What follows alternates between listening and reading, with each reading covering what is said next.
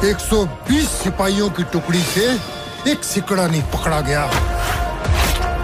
आप नमस्कार, स्वागत है आप सभी का हमारे चैनल मूवी न्यूज़ पर। दोस्तों, एक बार हम फिर से बात करने वाले पंजाबी सिनेमा की साल की सबसे धमाकेदार पेन इंडिया हिस्टोरिकल फ़िल्म, मस्ताने के बारे में, जिसने की अपने पहले दिन इतिहास रच दिया। जी हाँ दोस्तों, आप सभी की जानकारी के लिए बता दें कि इस फ़िल्म ने अपने पहले दिन सारे प्रिडिक्शन को फेल कर दिया है और इस फ़िल्म के पहले दिन का कलेक्शन उम्मीद से कहीं ज़्यादा आया है।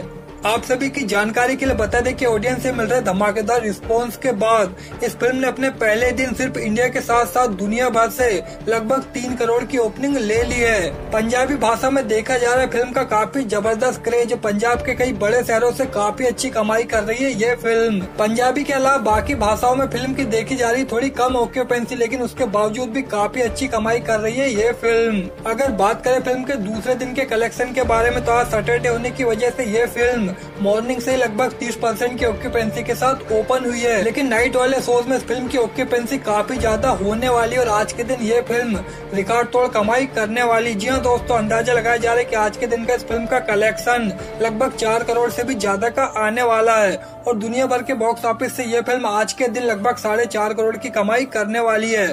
इसी के साथ पंजाबी फ़िल्म मस्ताने का शुरुआती दो ही दिनों का कलेक्शन दुनिया भर के बॉक्स ऑफ़िस से लगभग साढ़े सात करोड़ का हो जाएगा।